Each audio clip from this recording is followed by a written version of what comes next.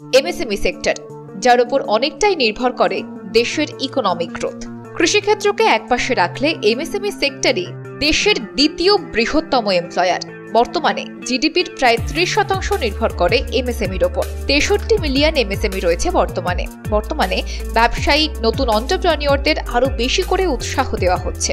সম্প্রতি কলকাতার আইসিএআই ভবনে অনুষ্ঠিত হলো একটি program session on delayed payments and recovery for MSMEs.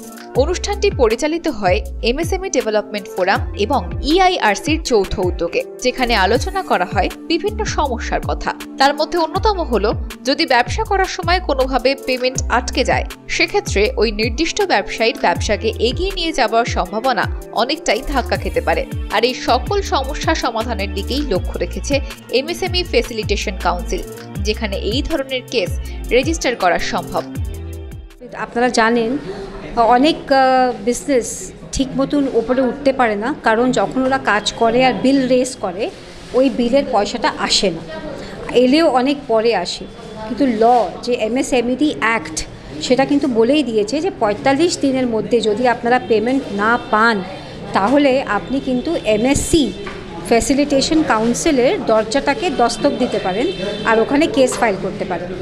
এটার জন্যে আপনাদের খেয়াল রাখতে হবে যে এমএসসি যে সেটার মানে কি? মাইক্রো অ্যান্ড স্মল এন্টারপ্রাইজেস এটাকে কিন্তু উদ্যম রেজিস্ট্রেশন আমাদের নিয়ে নিতে হবে। যদি আপনাদের পেমেন্ট না আসে, তাহলে আপনাকে বলি পঁয়তাল্লিশ দিন বাদে আপনি এখানে কেস ফাইল করতে পারেন। এখানে মানে হচ্ছে এমএসসি ফ্যাসিলিটেশন কাউন্সিল যেটা গভর্নমেন্ট অফ ওয়েস্ট বেঙ্গল শুরু করেছেন। এটা কিন্তু mandate of the central government যে প্রত্যেক কটা স্টেটে আপনাকে এটা রাখতে হবে। এই কেস যখন আপনি ফাইল করবেন, আপনার কোনো কেস ফাইল করার কোনো টাকা লাগে না।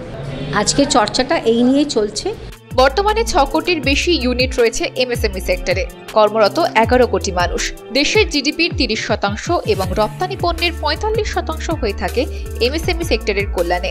আর ব্যবসা করতে গিয়ে যাতে কোনো রকম অসুবিধার না সম্মুখীন হতে হয় একজন ব্যবসায়ীকে, তার জন্য সরকারের নজর রয়েছে ভালো রকম। সেদিনের এই অনুষ্ঠানে উপস্থিত ছিলেন MLA Shri Bibek Gupta MSME facilitation কাউন্সিলের সদস্য CA Alok Tiprewal MSME development ফোরামের রাজ্য শাখার প্রেসিডেন্ট অ্যাডভোকেট মমতা বিনানি সহ আরও অনেকেই। বিক্রম লাহার রিপোর্ট বিজনেস প্রাইম নিউজ